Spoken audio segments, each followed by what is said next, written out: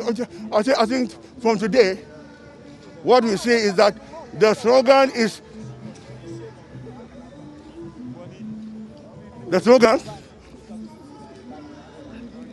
is Akohudios. Sheikh, come again. What? Akohu. What, what does Apohudios mean? Akohudios means that it's great, oh, it's great. Everything is great, everything is big, everything satisfactory. What Akohudios. informed this slogan? What informed, Hmm?